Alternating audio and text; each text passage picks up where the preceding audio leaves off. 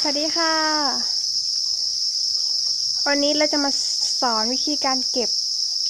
คอกจิ้งหรีดนะคะ สมมติเราเก็บจิ้งหรีดออกหมดแล้วมันก็จะเป็นอย่างนี้นะคะ มันก็จะเหลือพวกที่ติดตามขอบอย่างนี้นะคะ เราจะเก็บได้ยังไงนะคะ ถ้าเราใช้มือจับมันก็จะนานนะคะ นี่ค่ะเราจะทำอย่างนี้นะนี่คืออุปกรณ์ของเรานะคะ ก็มีถุงพลาสติกนะคะ ถุงเป็นถุงใหญ่ๆอย่างนี้นะ แล้วก็ไม้แขนเสื้อเลยที่มันเปรี้ยวๆนะคะ ที่มันเสียแล้วนะนะเราทำไงนะเดี๋ยวมาดูกันเลยนะคะ นี่ถุงแล้วก็ทำอย่างนี้นะคะ แล้วก็โกยนะคะ โกย มันก็จะตกลงไปในถุงนะ เดี๋ยวเราจะทำอีกทีดูนะคะ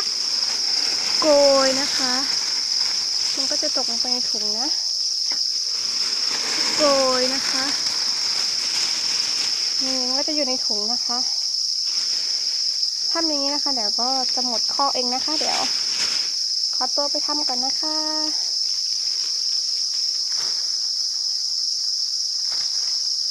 เดี๋ยว